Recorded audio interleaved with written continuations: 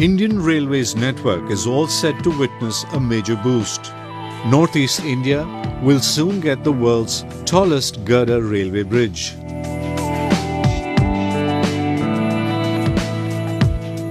The ambitious railway line project lies between Jiribam and Imphal in Manipur. It will be completed by the year 2020.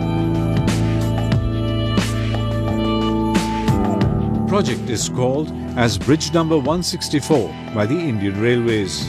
Height of the bridge is 141 meters, almost twice the height of Qutub Minar. Railway is the first time in Manipur and uh, through Jiribam it will be connected to Imphal.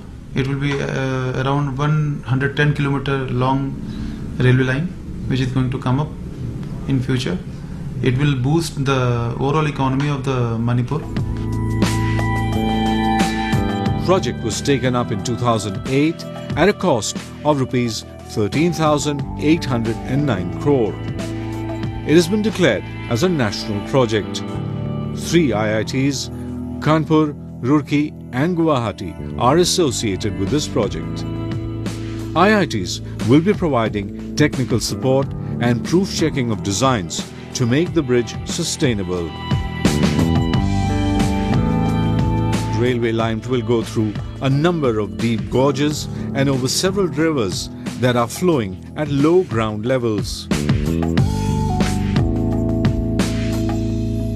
Significance of the bridge will connect nine stations Dola Dolakhal, Kaimai Road, Kambiron, Thingo, Khongsang, Noney Tupul, Hauchang Road and Imphal. This will be Imphal's first railway connection. Line will run in between Jiribam to Tupul and Imphal. It is built across valley of river Ijai near Noney. When we talk about safety, the surveillance of the bridge will be done through CCTVs, drone cameras, and remote monitoring by several sensors are also being considered. The bridge is being constructed across the valley of River Ijai near Noney. It has been designed to run trains at a maximum speed of 120 kilometers per hour. The bridge has been designed to carry up to 25-ton axle load freight trains. Key facts Height 141 meters, capacity 25-ton axle load freight trains, speed of train 120 kilometers per hour.